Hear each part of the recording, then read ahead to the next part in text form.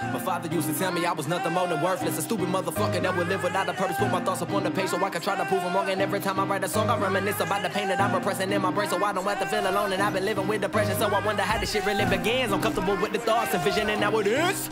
I've been working on this record for a minute, still I feel like nothing that I do is good enough. My insecurities are creeping in, so they will seep into the music. Ain't it funny when other people see your pain as I'm using, abusing, many appeal, and I'm in the way I feel to the point that my reality's the farthest thing from real. The only thing I ever needed was a little piece of love, couldn't find that in people, so I was seeking and drugs, and I wanted to be the greatest. Instead, I'm facing the truth, but the fact of the matter is, the greatest. Instead, I'm facing the